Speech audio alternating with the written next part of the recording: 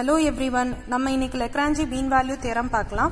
இங்க வந்து ஸ்டேட்மெண்ட் என்ன கொடுத்துருக்காங்க அப்படின்னா let f of x be a function defined on close interval a comma b so f of எக்ஸுங்கிற function ஒரு a comma பிங்கிற வேல்யூல டிஃபைன்ட் ஆகி இருந்தா எஃப் ஆஃப் எக்ஸ் வந்து கண்டினியூஸா இருக்கணும் on the close interval a comma b and f of x வந்து differentiable on open interval a comma b so இந்த ரெண்டு கண்டிஷன் சாட்டிஸ்ஃபை ஆச்சு அப்படின்னா there exist a number c such that c belongs to a comma b so c வந்து ஏக்கும் பிக்கும் in பிட்வீனில் ஒரு வேல்யூ எக்ஸிஸ்ட் ஆகும் then f dash of c so ஃபங்க்ஷனை டிஃப்ரென்ஷியேட் பண்ணிட்டு அந்த சி வேல்யூ கொண்டு போய் போட்டேன் அப்படின்னா அது எதுக்கு ஈக்குவலாக இருக்கும்னா f of b minus f of a divided by b minus ஏக்கு ஈக்குவலாக இருக்கும். ஸோ இதுதான் வந்து மீன் வேல்யூ தேரம் இந்த கிராஃபில் பார்க்கலாம்.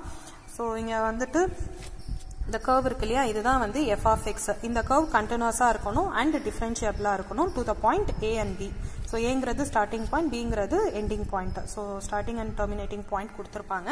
அதில் இந்த கர்வ் வந்து டிஃப்ரென்ஷியபிளாகவும் இருக்கணும் கண்டினியூஸாகவும் இருக்கணும்.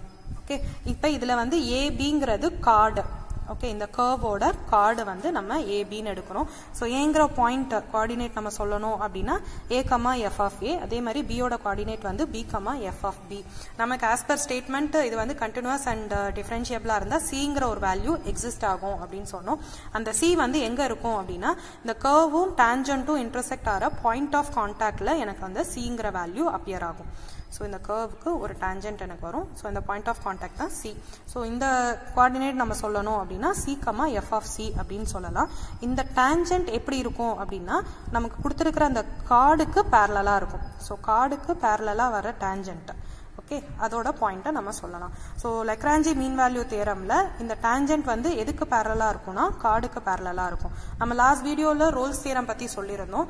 ரோல்ஸ் தீரத்தோட டேஞ்சன்ட் அதை வந்து எதுக்கு பேரலாக இருக்கும்னா எக்ஸ் ஆக்சஸ்க்கு பேரலாக இருக்கும் அப்படிங்கிறத சொல்லியிருந்தோம். இதுதான் வந்து மேஜர் டிஃப்ரென்ஸ் சம்டைம்ஸ் உனக்கு வந்து எந்த தியரம் அப்படின்னு கொஷினில் மென்ஷன் பண்ணலன்னா அந்த டேஞ்சன்ட் எதுக்கு பேரலாக இருக்குன்னு கொடுத்துருக்காங்க அப்படின்னு கொஷினில் பார்த்துட்டு அந்த வேல்யூவை நம்ம அப்ளை பண்ணணும். ஓகே ரோஸ் தீரத்தோட லிங்க் டிஸ்கிரிப்ஷனில் இருக்குது யூஸ் பண்ணிக்கோங்க.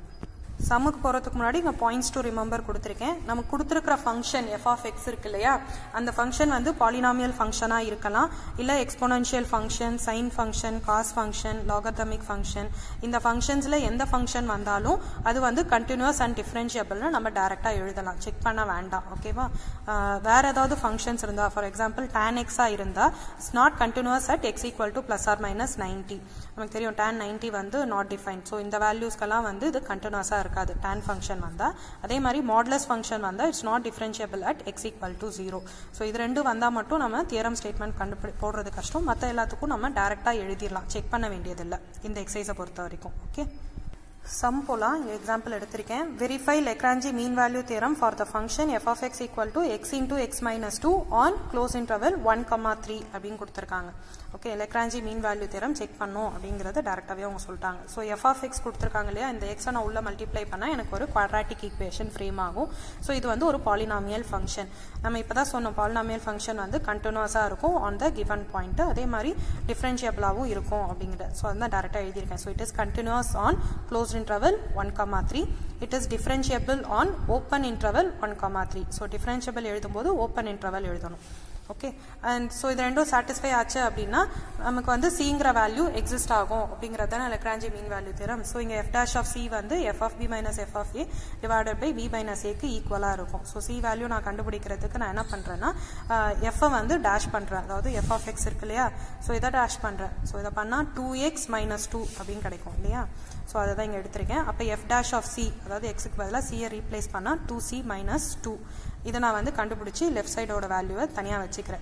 ரைட் சைடு வேல்யூவை நான் கண்டுபிடிக்கிறேன். எஃப் ஆஃப் பி பினா நம்ம கொடுத்துருக்கிற பாயிண்ட் இதுதான் ஏ கமா பி ஸோ பிங்கிறது த்ரீ ஏங்கிறது ஒன்று ஸோ அதை ரெண்டையும் நான் இங்கே ஃபைன் பண்ணுறேன் எஃப் ஆஃப் பி போட்டேன். அதாவது கொடுத்துருக்கிற கொஷினில் எக்ஸுக்கு பதிலாக நான் பிங்கிற வேல்யூ அப்ளை பண்ணேன் அப்படின்னா எனக்கு வந்து த்ரீ கிடைக்குது. அதே மாதிரி ஏங்கிற வேல்யூ அதாவது ஒன்னுங்கிற வேல்யூ அப்ளை பண்ணால் எனக்கு மைனஸ் ஒன் கிடைக்குது. அதுக்கப்புறம் ஏ பி என்னன்னு எனக்கு தெரியும். ஸோ அதனால் நான் அதை டேரெக்டாக ஈக்குவேட் பண்ணுறேன் அதாவது எஃப் டேஷ் ஆஃப் சி வந்து f of b minus f of a divided by b minus a அந்த வேல்யூஸ் எல்லாம் நான் இங்கே ரீப்ளேஸ் பண்ணி I'm finding the value two அதே மாதிரி எஃப் டேஷ் வந்து நான் ஆல்ரெடி கண்டுபிடிச்சிருந்தேன். டூ சி மைனஸ் டூ அப்படின்னு சொல்லிட்டு. அதை வந்து இந்த டூக்கு ஈக்குவேட் பண்ணுறேன் ஏன்னா இது ரெண்டும் ஈக்குவல் ஸோ ஈக்குவேட் பண்ணால் எனக்கு சிங்கிற வேல்யூ டூ அப்படின்னு கிடைக்குது. ஈக்குவேட் பண்ணி சிம்பிளிஃபை பண்ணால் ஸோ இந்த டூ வந்து எங்கே இருக்கும் அப்படின்னு பார்த்தா ஒன்னுக்கும் த்ரீக்கும் இன் பிட்வீனில் எனக்கு டூங்கிற வேல்யூ கிடச்சிருச்சு. நான் சொன்ன மாதிரியே சிங்கிற வேல்யூ எக்ஸிஸ்ட் ஆகுது. அது இன் பிட்வீன் த பாயிண்ட் அதாவது ஒன் கமா த்ரீக்கு இன் பிட்வீன்லேயே எனக்கு வருது. So hence the theorem is verified okay another example பார்ப்போம் using Lagrange mean value theorem for the find the point on the curve அந்த curveல இருக்கிற point அதாவது c comma f of c find பண்ணணும் okay y equal to square root of x minus 2 அப்படின்னு அந்த function கொடுத்திருக்காங்க defined on closed interval 2 comma 3 where the tangent is parallel to the chord so tangent parallel to the chord னா mean value theorem நம்ம apply பண்ணணும் joining at the end of end points of the curve இதுவும் கொடுத்துருக்காங்க இதுவும் கொடுத்துருக்காங்க. Sometimes இந்த தியரமை mention பண்ணாமல் question கொடுப்பாங்க. அப்போ கரெக்டாக நம்ம கெஸ் பண்ணி எழுதணும் ஓகே ஸோ இப்போ கொடுத்துருக்கிற function y equal to root of x minus two அப்படிங்கிறது வந்து இது வந்து ஒரு ரியல் வேல்யூட் ஃபங்க்ஷன் ஸோ அதனால அது கண்டினியூஸாக இருக்கும். To the closed interval two comma three அதே மாதிரி டிஃப்ரென்ஷியபிளாகவும் இருக்கும். ஸோ இதை நான் டிஃப்ரென்ஷியேட் பண்ணேன் அப்படின்னா நான் ரூட்டை பொறுத்து ஃபஸ்ட்டு பண்ணுவேன் இல்லையா? ஸோ ரூட் பண்ணும்போது உள்ளே இருக்கிறதெல்லாம் நான் எக்ஸ்னு எடுத்துப்பேன். ரூட் எக்ஸ் அதை நான் டிஃப்ரென்ஷியேட் பண்ணால் one by two root x அதை தான் நான் இங்கே எழுதியிருக்கேன். ஸோ இதில் வந்து எக்ஸுக்கு பதிலாக நான் சிங்கிறத ரீப்ளேஸ் பண்ணுறேன் பண்ணால் எனக்கு one by two square root of c minus டூன்னு கிடைக்குது. தனியாக வச்சுக்கிட்டேன். அடுத்தது வந்து ஃபார் எவ்ரி எனக்கு இது இதுலேருந்து ஒரு சி வேல்யூ எக்ஸிஸ்ட் ஆகும் இல்லையா?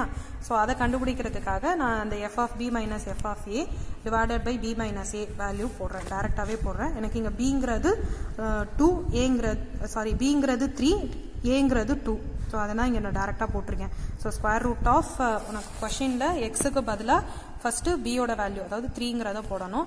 அதுதான் இங்கே எழுதியிருக்கோம். So three minus two minus அதே மாதிரி இங்கே ஏவோட வேல்யூ போடணும். So two minus two divided by b minus a அதை எழுதியிருக்கேன். ஸோ இதை சிம்பிளிஃபை பண்ணால் எனக்கு வந்து ஒன்னுன்னு கிடைக்கும் இங்கே. ஓகே இந்த இடத்துல இதை வந்து நான் அப்படியே ரெசிப்ரோக்கில் எடுத்துக்கிறேன். ரெசிப்ரோக்கல் எடுத்துட்டா டூ ரூட் சி மைனஸ் டூன்னு இருக்கும் ஈக்குவல் டு ஒன்னு கிடைக்கும். ஸோ அந்த டூ இங்கே கீழே கொண்டு வந்துட்டேன்னா root c minus two divided equal to ஆஃப்னு எனக்கு கிடைக்குது. இங்கே ஸ்கொயரிங் ஆன் போத் சைட் போட்டேன் அப்படின்னா இங்கே ரூட் ரிமூவ் ஆகிடும் இது வந்து ஒன் பை ஃபோர் அதுக்கப்புறம் இந்த மைனஸ் டூ அந்த பக்கம் கொண்டு போயிடுறேன். பண்ணிவிட்டு சிம்பிளிஃபை பண்ணால் எனக்கு நைன் பை ஃபோர்னு கிடைக்குது. நைன் பை ஃபோர் ஸோ நைனை ஃபோரால் டிவைட் பண்ணால் டூ பாயிண்ட் சம்திங் வரும் இல்லையா? ஸோ அது வந்து in between two and three டூக்கும் த்ரீக்கும் இன் பிட்வீனில் தான் இருக்குது டூ பாயிண்ட் சம்திங் ஸோ டூவை விட அதிகமாக போகுது. பட் த்ரீயை விட அது கம்மியாக தான் இருக்கும். ஓகே அப்புறம் எஃப் ஆஃப் சி ஃபைன் பண்ணணும் அப்படின்னா இந்த சி வேல்யூ எடுத்துகிட்டு போய் எஃப் அதாவது எக்ஸ் இருக்கிற பிளேஸில் நான் ரீப்ளேஸ் பண்ணோம் கொஷினில் கொடுத்துருந்தாங்க இல்லையா? ஒய் ஈக்குவல் டு அங்கே எக்ஸுங்கிற பிளேஸில் ஒரு நைன் பை ஃபோரை போட்டு சிம்பிளிஃபை பண்ணால் எனக்கு வந்து ஒன் பை டூ கிடைக்குது. ஸோ சியும் எஃப் ஆஃப் சியும் நான் ஃபைன் பண்ணிட்டேன். So c comma f of c அதாவது அந்த பாயிண்ட் இங்கே போட்டுட்டேன். Is the point on the curve f of x அதாவது y equal to square root of x minus two such that the tangent at this point is parallel to the chord joining the end points of the curve அப்படியே நம்ம எடுத்து answer எழுதிட்டோம். So இவ்வளோ தான் உங்களுக்கு Lagrange mean value theorem இந்த video உங்களுக்கு பிடிச்சிருந்ததுன்னா லைக் பண்ணுங்கள் ஷேர் பண்ணுங்கள் சப்ஸ்கிரைப் பண்ணுங்கள் மறக்காமல் பெல் ஐக்கான் கிளிக் பண்ணுங்கள்